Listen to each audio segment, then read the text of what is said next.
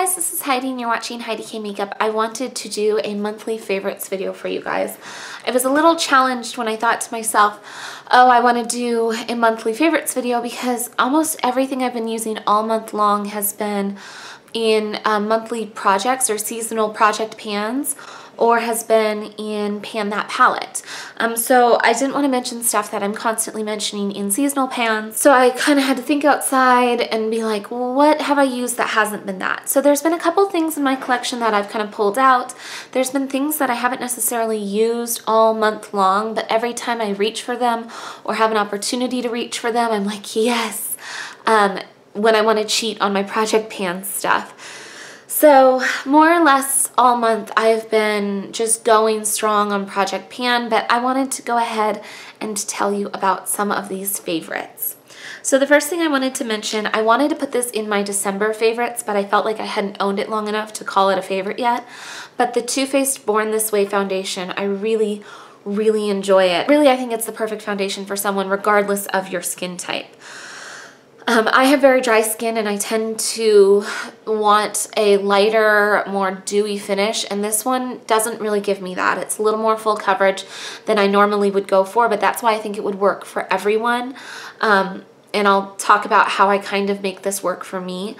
But it lasts all day and I really, really quite like it. I know that when it first came out, they didn't have a lot of um, options in terms of color range, but this one matched me and I usually have a hard time finding something fair enough to match me, so that's great. It's also vegan.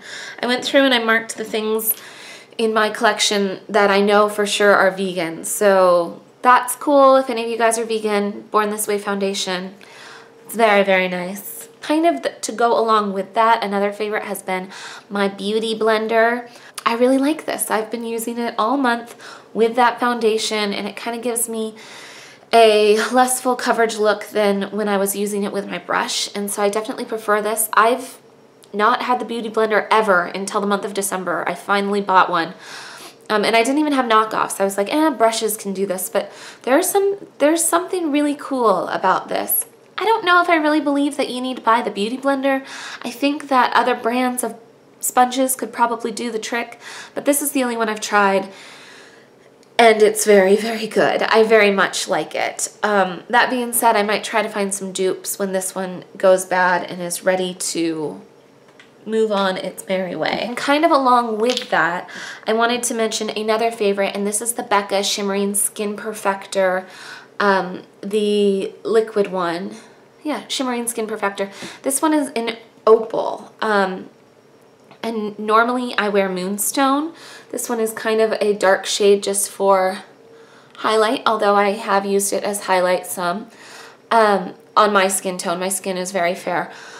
But when I mix it with that Too Faced foundation, which I did today, I just feel like it gives me this really nice glow and keeps my dry skin from looking too dull. So I do really like the opal as kind of a mixing to mix with foundation as well. Another tool that I should mention that I've really been enjoying is this brush. This is the uh, domed bronzer brush by Eco Tools. Um, and it's a synthetic brush. It's kind of like wide and thick. I don't know about using this for bronzer because I like to have very, very gentle touch of bronzer on my face, but I have been using this with um, my Too Faced Cocoa Powder Foundation to kind of set everything and buff everything in. I think this is great a great replacement for like a kabuki brush. I really, really like this a lot. I've even heard people say that you can use it with liquid foundation, but I haven't tried that. A kind of weird thing is this uh, brush cleaner by Sonia Kashuk.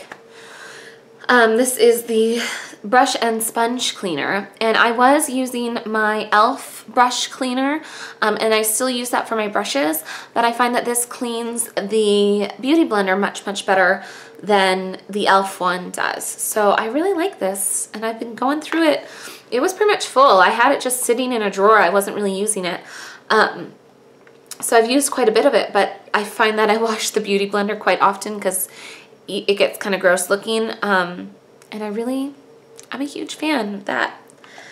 Um, another product that I have tried recently is the Jack Black Lip Balm, and this is in Natural Mint. Jack Black is cruelty-free. Um, it is not vegan though, it has beeswax in it and it is so nice. I've heard Tim Talia talk about this lip balm for a really, really long time and I never could bring myself to buy it because it's like 7.50. But for like a lip balm that you put on before you go to bed to kind of like refresh your lips, I've been wearing red lipstick a lot because one of the projects I'm working on has a red lipstick in it and you really need your lips to look nice for that. So I find that if I put this on the night before, my lips look much nicer the next day and it just feels like a really thorough lip balm. So I do definitely like that. Then I have a couple of things that I have recently hauled. The first is the uh, Too Faced Love Flush Blush Palette. Um, and I haven't been wearing this every day because I've been really, really working on my NARS palette that I'm trying to do for Pan That Palette. But these shades are just beautiful, particularly these two right here. I Will Always Love You and Baby Love is the one I'm wearing today. I just really like those two. I think that they're really unique shades. But all of these shades are awesome. Um, and all of them are part of the permanent line. So even if you can't get a hold of this palette, you can get any of these individually. Um, and if you're looking for vegan, uh, Your Love is King and How Deep is Your Love, these two are both vegan as well. I think the other ones all have carmine in them, but I really have enjoyed having this. And on days that I don't reach for that NARS palette, I'm reaching for this all the time. And another product that I'm really enjoying, I'm actually wearing both of these today, is my um, The Balm Manizer Sisters palette. Um, this again was a holiday release. Good luck finding it because this was the last one at my Kohl's when I bought it, but I mentioned it in a haul recently and I like it. I'm actually wearing all three of them today. I was afraid that Betty wouldn't work for me, but I'm actually wearing it as a bronzer. And I don't think I look too shimmery or intense. Um, and then Mary Lou Manizer. I bought this palette because I wanted to try Mary and I was like, oh, well, why wouldn't why would I pay $24 for a full size of Mary Lou Manizer when I could pay $28 and try all three? So that's exactly what I did and I'm glad I did because Cindy makes a really pretty blush topper too. And I've even managed to figure out a way to work with Betty. So I like this. I also got the Becca Afterglow palette, but I like the texture of these more even. So and then the last thing that is a favorite, and this was a huge favorite this month, I'm wearing these on my nails right now. Literally, for the entire month, I have taken this off as soon as it starts to show wear and then put it right back on. I haven't worn any other nail polish except for these two, this combination, all month long. And I kind of feel bad mentioning it because you can't buy either of them anymore, but maybe you have similar shades in your collection or whatever. The um, the under color is Valet Tag by Wet n Wild, and this was a seasonal, um, seasonal nail polish in their summer 2015, I want to say. It's very similar to Wet Cement, which is a permanent color, so you could get a similar look, but this one has a little bit more of a purpley kind of color to it.